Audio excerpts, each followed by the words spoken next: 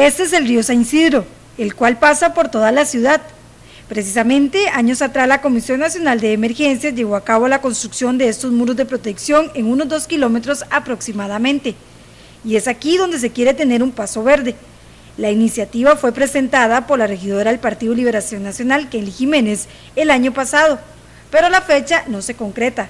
La concejal dijo que en su momento dado se aprobó una moción para llevarlo a cabo, pero casi un año después no se realiza. Para hacer un paso verde, eh, un lugar de recreación familiar eh, donde también puedan haber actos culturales, eh, son dos kilómetros de aquí hasta la parte de, de quebradas y lo único que quisiéramos es pues que el municipio mostrara un poquito de cariño con nuestro ambiente, que lamentablemente está tan dejado de la mano.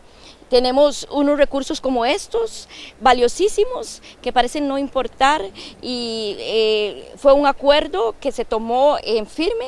La intención es sembrar árboles de diferentes especies en el tramo y que se involucre tanto a los estudiantes como a distintas organizaciones. Los niños de las escuelas eh, vecinas a, este sector participen activamente y los docentes siempre están deseosos junto con los niños y sus padres de involucrarse en este tipo de iniciativas porque son iniciativas de vida que nos van a favorecer a todas y a todos y no solamente para este momento sino precisamente pensando en el futuro próximo que ya está a la vuelta y que eh, no estamos haciendo absolutamente nada siquiera por este, atenuar las implicaciones de lo que hemos generado irresponsablemente en años anteriores. Jiménez indicó que el encargado de obras viales de la municipalidad, Elidio Fonseca, envió un documento donde indicó que el proyecto no es tan viable, debido a que no se cuenta con un nuevo plan regulador, por ejemplo. Manda una excusa indicando que es necesario aprobar primero el plan regulador, que este, eh, primero hay que demoler todas las construcciones que la misma municipalidad ha permitido